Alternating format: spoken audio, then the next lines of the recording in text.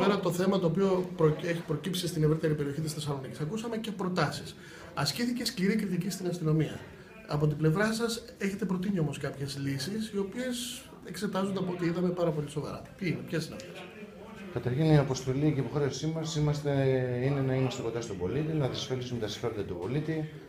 Ε, από εκεί και πέρα, τώρα οι προτάσεις οι οποίες ε, και σε οποιοδήποτε αδίκημα συμβαίνει, ε, η αστυνομία παίζει με το χρόνο.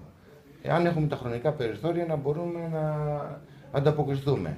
Εδώ τώρα, έτσι όπως θα δημορφωθεί η κατάσταση, θα υπάρχει ε, ενημέρωση ότι γίνεται κλοπή και θα υπάρχουν ε, αρκετό χρονικό διάστημα τους ώστε να ανταποκριθούν οι δυνάμεις της αστυνομίας για να συλλάβουν τους δράστες σε παυτοφόρο στις περιπτώσεις που έχουμε κλοπή των μετρησιματιστών.